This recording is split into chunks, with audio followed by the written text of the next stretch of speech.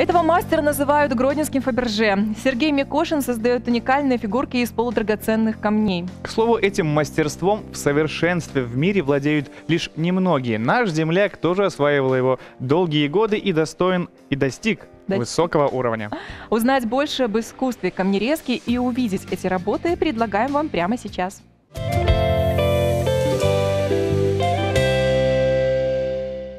А в студию к нам присоединился талантливый гродненский мастер камнерез, который делает фигурки из драгоценных камней. Ну, полудрагоценных, если Сергей более быть точным. Сергей Микошин. Да. Доброе утро. Доброе, Доброе утро, утро. Сергей. Расскажите о вашем ремесле. В чем его особенность и сложность? В двух словах, конечно, не скажешь. Э, э, Основное, как бы сказать, что можно сказать об этом ремесле, это именно именно ремесло, потому что, как бы сказать, художник, э, коммунерез, это громко сказано. Он должен творить, он должен, э, понимаете, создавать изначально какую-то, нести э, мысль, Мгм. понимаете, твор- творческую, да, самовыражение или э, отвечать каким-то веяниям эпохи, времени. Вот. Ну, немножко можно углубиться в историю. Э, Кто такие камнерезы вообще были? По большому счету, самая основная эта школа – это э, китайские камнерезы.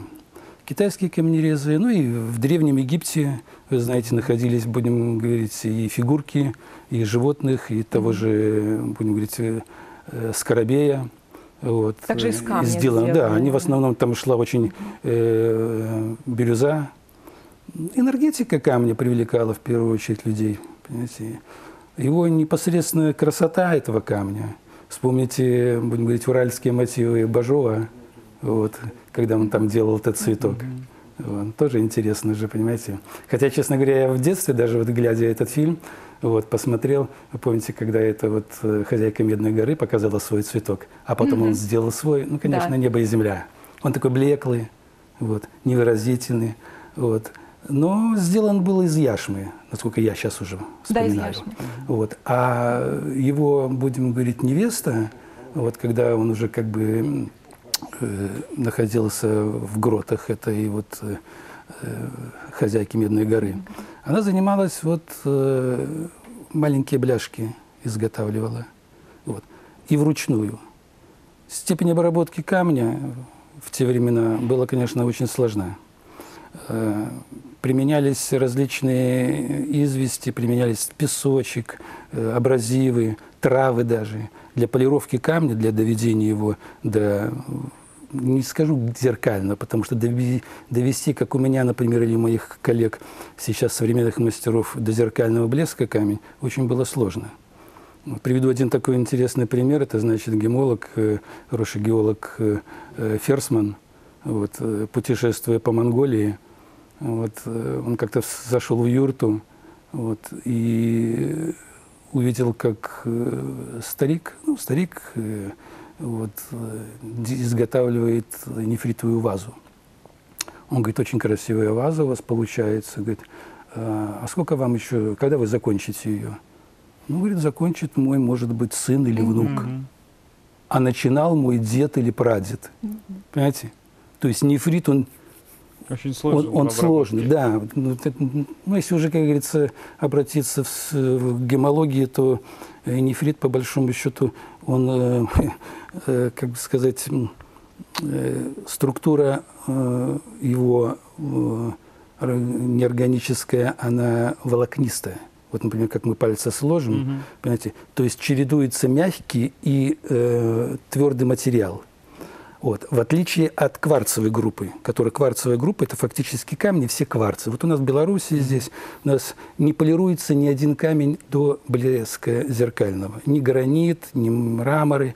Вот. Это все кварцевая группа, которая можно довести до слегка матового блеска, но не более. Ну, Вот. Из того, что можно довести здесь, это только один кремний черного цвета.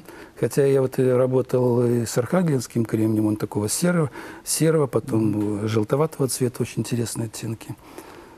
Ну, что можно сказать еще о камне? Вот, э, Ну вот с каким камнем вам нра- нравится работать, Сергей? Нравится работать, тот, что полегче режется. Потому что камень очень сложный. Иногда, поверьте мне, у меня были случаи, ну, простите, до слез доводило. Вот. Когда работал, делал маленькую э, с кремния э, архангельского э, предмет, э, значит, э, э, кошечку с клубком. Вот. Эм, Когда большим инструментом обрабатываешь, степень обработки камня, знаете, сначала берешь большой булыжник, ну, в зависимости от того, какой приобретается – разрезаешь его, смотришь, как говорится, структуру, как подбираешь. Вот.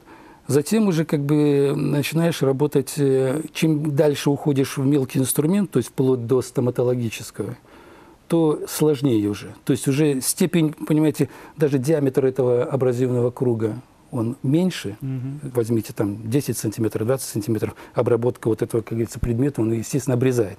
И когда вы дошли до определенного, то есть, как говорится, как мы называем, обдирка, начинаете работать мелким инструментом.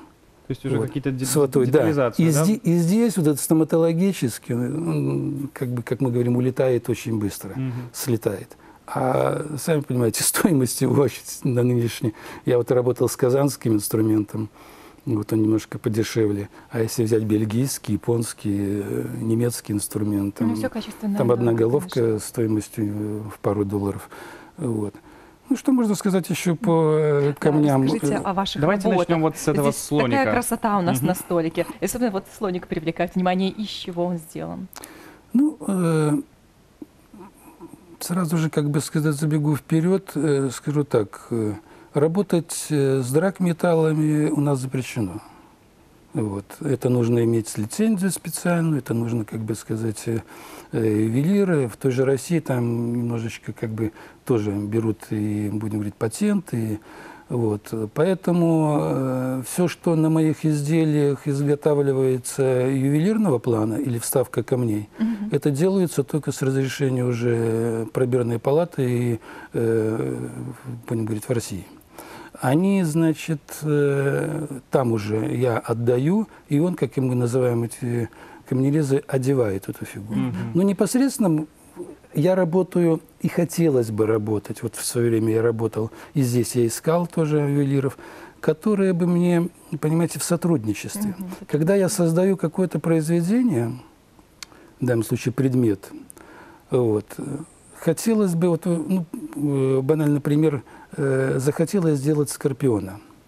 Понимаете, некоторый камень очень хрупкий. Угу. Вот. И вот эти вот э, чле, он членистоногий, угу. и вот эти клешни для соединения, он просто поломается. Для соединения требуется, будем говорить, металл. И вот здесь, как бы сказать, мне нужно работать уже с ювелиром. Не каждый ювелир понимает, как насадить, как посадить, камень. Да, Взять те же цветочки, например, никогда. понимаете, каждый пестик, каждый этот, это нужно сделать веточку, проработать детали очень скрупулезно. Понимаете? Mm-hmm. На тычинки посадить, вот каждый листочек, вот я вот сейчас обращу внимание, вот, вот видите, листочек, нефритовый листочек. Здесь отверстие. Делается сверлом от 0,2 мм до 1,2 мм. Это максимум. Здесь в данном случае где-то порядка 0,2 мм сверло. Вот сюда он должен штифт. И они будут, эти листочки, посажены на веточку. Угу. В дальнейшем эта веточка серебряная он делает, это все ювелир делает. Я делаю только камнерезную работу. Я хотел э, некоторое время тому назад, может быть, и ювелирное освоить дело, но, вы знаете, во-первых, и оборудования нужно много и распыляется. Это как в свое время в реставрации. У меня была тогда вот дилемма. Вот, когда меня, я уже заболел этим камнерезным делом, вот, э, когда я работал в Петербурге в реставрационной мастерской, вот, э, чисто случайно вот, э, появилось объявление. Вот. А было, я вам расскажу, это было вообще, ну, вот, ну как говорят, Господь нас ведет. Угу. Вот, и мы с женой приехали э, к ее дяде, э, этот э, Старый Петергоф. Дядя уехал сам, он геолог, и он уехал в Германию жить на постоянное место жительства. Осталась квартира, и мы там немного проживали. И вот там я увидел и впервые познакомился с трудами Ферсмана, и будем э, говорить, этими камнями и немножечко, как бы сказать, приобщился. А потом уже, э, естественно, хочешь, как бы сказать, где-то двигаться. Творческий человек, он э, хочется всяким заняться. хочется я, и, и я и резал, я и чеканку какую-то сделал, там еще что-либо, там ковкой, может быть, только не занимался. Вот. Здесь когда-то работал, то интерьерами занимался. Вот. И позвонил по телефону, там камнерез, написано камнерез, э, не памятники.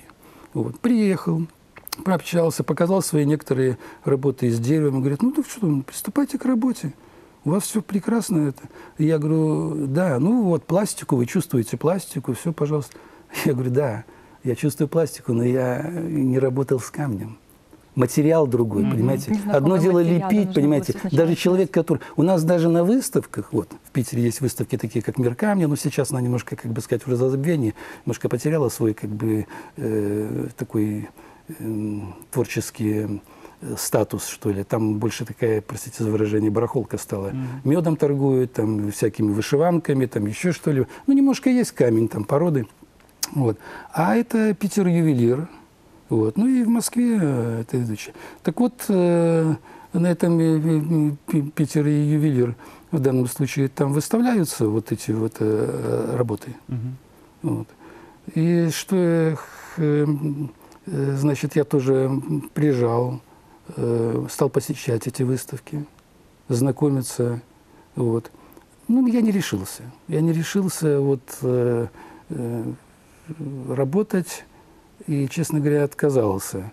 Вот. И еще год э, штудировал литературу, уже покупал материал на выставке. На выставке там тоже есть люди, которые приводят, просто сырье продают. Вот как у нас здесь вот при, э, этот, э, приезжает молодой человек, там, э, вот раньше в Дворце текстильщика здесь я видел, сейчас вот он тоже, они, значит, презентуют э, камнерезные изделия. Точно так же и там. Вот. И только через год я пришел вновь к ним и стал работать. Конечно, э, в финансовом плане я потерял, потому что заработки у меня в реставрации были гораздо э, выше. Здесь я, конечно, упал, как бы сказать, на самый низ. Вот. И такой вот предмет примерно я делал, вот такой, например. Это, Заяц. да, это зайчик. Пухленький это, заяц. да, зайчик – это моховый агат. Это, можно сказать, в воспоминаниях о Фаберже. Многие из работы предварительно мы делали, повторяли Фаберже. Э, Возрождение камнерезного в России началось где-то в конце 90-х годов. Ну, Вот если помните, это Антон Ананьев, Ананов, потому что есть Ананьев, Ананов, вот Коноваленко был такой вот знаменитый камнерез. Вот, они стали возрождать. Вот, хотя, ведь, э, если вспомнить, это была гранильная старая петербургская школа, э, э, Екатеринбургская школа камнерезного искусства и Петербургская. И вот в Старом Петергофе, я, кстати, был там на этих площадях, они уже там в запустении, напротив часового завода. Там э, еще остались развалины старых вот, мастерских гранильных, которые занимались именно вот э, постаменты, вот э, ту же набережную Невы и, и прилегающих там фонтанки, тоже канала Грибоедов. Как создается предмет, э, вот, э, делаю, как бы сказать, леплю сначала с пластилина или же с глины. Вот она как бы предмет, который я хочу в ближайшее время изготовить. Вот. Это так называемый, как я называю, мужичок, э, парильщик, банщик, такой рус- русский, русский мотив, да. Вот. Он сидит в бочке, здесь у него веник, вот, э, завернутый в простыню. Вот. Бочку я уже сделал. Новое прочтение денег. Да. Ювелир сделал мне как бы вот этот металл.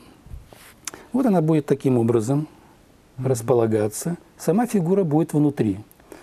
Еще я буду делать... э, А знаете, из чего, простите, бочка сделано? сама, да, бочка, бочка. это самшит или так называемое окаменелое дерево, которому миллионы лет пролежавшее в земле. Вот. Нарезал на пластинки. Оно в некоторых кусках, где-то меньше. Подобрать именно. Оно есть от э, такого светлого оттенка до коричневого. Вот. Так называемый самшит. Хорошо. Что Что, значит, здесь э, еще мы видим? Ну, Расскажите. здесь мы видим что? Мы видим здесь э, носорожек, опять-таки, тоже в стиле Фаберже. Это ситцевая яшма, сердоликовые у него рога. Какой Вот. красивый цвет получился. И гранатовые глазки. Вот. Проработка низа, потому что некоторые предметы э, ставятся на подставки. Мгм. Тогда он низ не обязательно прорабатывать или, как бы сказать, он крепится. Но некоторые коллекционеры и желают именно непосредственно без подставки. Это э, их э, в корне э, этот, в общем, по- пожелание их Мгм. конкретное. Вот. Что Вы касательно слона.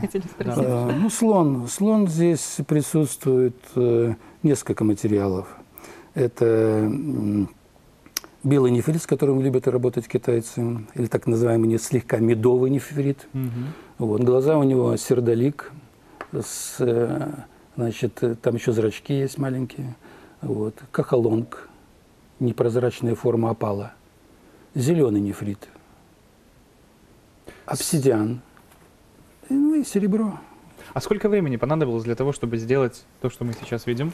Вот. Ну, все зависит, понимаете, если работоспособности человека, завтра ты заболел, приболел, или там, говорится, желания нету, луна плохо светит, или еще что-либо еще, конечно же, вот, недомогание. Конечно, сейчас, как у нас ребята говорили, работать дома – это неблагодарное дело. Когда ты работаешь в коллективе, там, как бы сказать, сама атмосфера атмосфера такая, создает, да. способствует Нет времени расслабляться, Да. пойти там Да, кофе да, выпить. да, да, да, да. А здесь, здесь зашел домой э, перекусить, у меня мастерская дома. Мгм. Вот, зашел, как говорится, в подвале, там я себе оборудовал место. Вот, э, зашел э, перекусить, сел в компьютер, покопался там где-то, что-то поискал. Я понял, но если исключить все вот эти, скажем так, когда вы отвлекались, вот и сложить вот время, когда вы работали над ним, сколько это? Неделя, месяц? Ну, это работе, это месяца полтора. Мгм. Полтора месяца. Да, за исключением э, рабо- работа так просто не делается. Э, Интересно, Это в том случае, если еще будем говорить, вот, например, на эту работу, вот представьте себе, как она выполняется. Ну, я, как правило, еще некоторые параллельно делаю раньше работы. Вот у меня сейчас в работе женщина-кошка. Вот. М, Я ее, с- да, я вот Хотелось думал, бы посмотреть на да, сделал, как бы сказать, прекрасно, как бы сказать, об- обнаженную фигуру, вот, в тонкой, можно сказать, с спадающей на ней э, ткани. Мгм. Вот. А, ве- Но я при этом э, размышлял, к Минск к ребятам тоже заехал, к ювелирам, и спрашиваю, что я хотел, или женщину-волчицу сделать, голову волка, или же женщину-кошку. Он говорит, я бы, наверное, женщину-кошку. И тут у меня Это снова стал вопрос, что сделать, просто кошку, такую, знаете ли, вот, э, э, типа, ну, не женщину-вампа, а, э, ну, с какой-то интригой. Мгм. Или же э, по пути э, египетской мифологии пойти. Ну, вот здесь, э, опять-таки, если бы это был заказ непосредственно, то заказчику я под него и работал бы. Мгм. А Здесь у меня фантазийная моя, и э, тут сразу задаешь себе вопрос. Я захочу еще. ее продать. Вот. А любителей египетской мифологии не так уж много. Сразу сужается круг, будем Да, Целевая покупателей. аудитория немножко, да, да. да, целевая. Поэтому я решил, я думаю, буду делать, ну, как бы, ну, там будет еще э, по, по ней, она будет такая фантазийная, как не просто кошка, а я вот собираюсь здесь какие-то узоры сделать, будем говорить, такая вот стилизованная. Мгм. Вот. Высокая фигура, где-то порядка 18-20 сантиметров. И тоже, опять-таки, низ. Вот сейчас вот размышляю, что сделать с низом. Или ее, как говорится, в траву, или ее какие-то в растительность, или просто печать сделать. Но печать высокая, я не знаю, как бы сказать. Это вот, видите, вот так она формируется. Так вот. А вот Сергей, э, спасибо. Спасибо большое, что вы сегодня к нам пришли. Вы столько всего знаете о камнях, так интересно рассказываете, и такие у вас работы замечательные. Их можно разглядывать бесконечно, и действительно высокое искусство.